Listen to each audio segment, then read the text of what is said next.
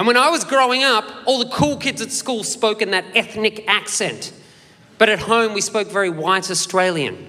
So I was conflicted. I didn't know what my identity was. I'd be on the phone to my friends like, nah, bro, loch, I want to come out. Nah, dude, I do. I want to come out. I just got to ask my mum, mother, mother, may I please go out with my friends? no, she's breaking my balls. I swear to God, bro, I want And because of this white image of Australia, when I hit 18, I stopped using the ethnic accent because I thought it wasn't appropriate socially, which is such a shame. I wish I didn't. I wish I kept doing it. But I kept it in my back pocket for 10 years. And I didn't need my ethnic accent until recently when I got into a car accident.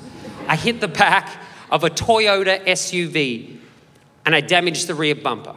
Now, you have to understand, first of all, that my car cost me $500. it is cheaper to buy my car than it is to get a tattoo of my car.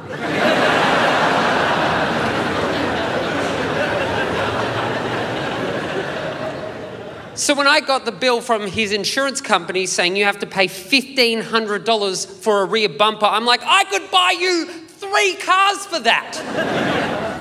and I had to pay it out of pocket because I didn't have insurance, okay? So I'm calling panel beaters and they're all saying the same thing. Nah, sorry, mate, it's going to be 1500 bucks. Toyota SUV, mate, nah, 1500 bucks. But the last panel beater I needed to call answered the phone like this. Hello? Joey's panel beaters, how can I help you?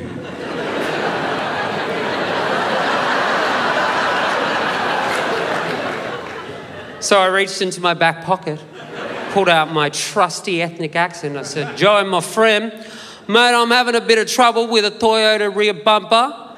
My insurance company wants to charge me 1500 bucks. He says, mate, sounds like a bit of bullshit.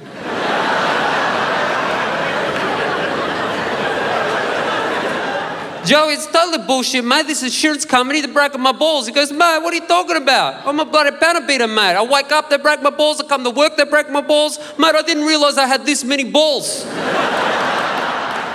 I said, Joe, I don't know what to do, mate. He goes, mate, are you Italian? I go, mate, I'm totally Italian. He goes, mate, you sound Italian. I said, mate, you sound Italian. He goes, mate, well, I'll tell you what. What are you going to tell me, Joe? Mate, I'll tell you what. What are you going to tell me, Joe? Mate, I'll tell you what. What are you going to tell me? Mate, I'll tell you what. What are you going to tell me? Mate, I'll tell you what. 600 bucks, no worries. Boom! Thank you, Joey. Yes. Yes. It is good to have insurance, but fuck, it's good being Italian. So it worked out. It worked out for me.